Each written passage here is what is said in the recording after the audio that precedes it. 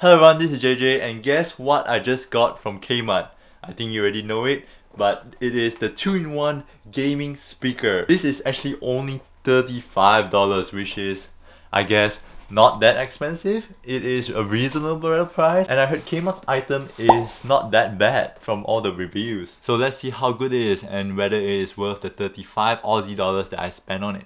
It is using USB as power and also an audio input and it has Bluetooth as well which is really really good. So let's quickly just open it up and see how it looks like.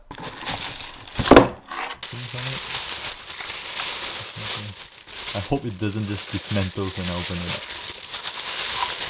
up. Okay, this is it. And this is the soundbar. So right now it's connected. Let's see how to detach it.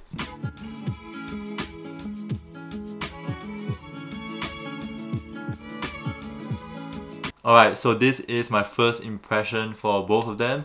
So the material looks kinda standard. It is some sort of plasticky, doesn't look really high quality as expected. Right here you have a button as well where you can change the mode of auxiliary or Bluetooth and then you can also turn the volume up and down. To be honest, I'm not too sure how are you going to review a speaker besides just letting it play sound. So I'm gonna just plug it in and hopefully it works. Bluetooth mode. Oh, so so it's on already. Look at it. Look at the RGB colors. It is really minimal. So it's just the sides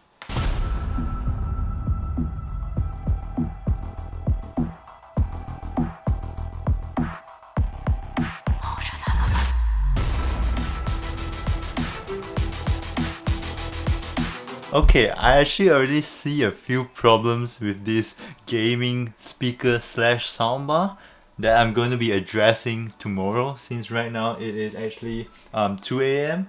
I'm going to see you tomorrow and I'm going to address some issues with this speaker. Alright, good afternoon everyone. So yesterday I talked about this gaming speakers from Kmart and how nice it looks and it also works which means I do not need to return it. But wait. The sound that is coming out from this speaker is not at the front.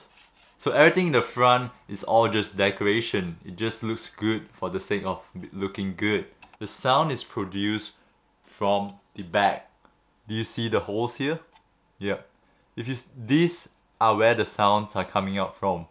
So it's the sound is coming out from the back. So when I put this gaming soundbar under my monitor, the sound is going to reflect the wall and only then I can only hear it. That means sound have been distorted and interfered by my walls and surrounding area and it's not directly facing towards me. Even worse is that I have a window just at the back of my monitor which means if I open my windows, sound is going to just escape from my window and go to my neighbors so it's going to be really noisy.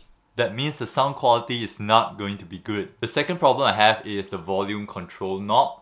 If you see closely enough, you do not know when it's going to be going too high or when is it going to be too low. It, it just keeps spinning forever. If it goes too high, it's just going to blink a sound. And if it goes too low, it's going to bring a sound as well. Like sound like this.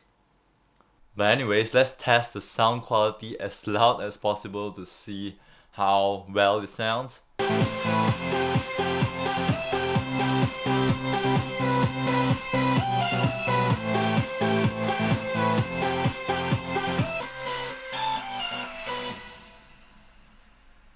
In terms of how loud it can go, I think it is on par with other speakers, which means it can just fill up the entire room and also you can hear it a bit from outside the house, around 5 meters away from the room. I'm not sure whether you can hear the sound quality through my microphones, but right now I'm going to be testing the bass sound.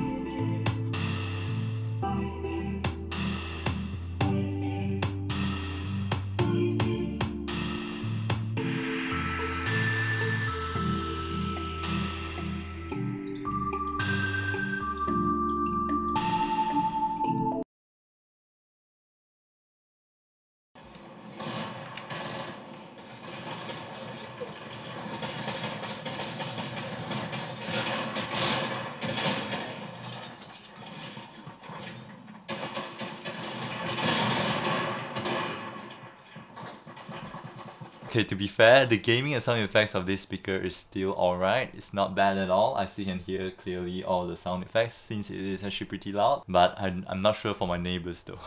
so I guess I'm gonna return it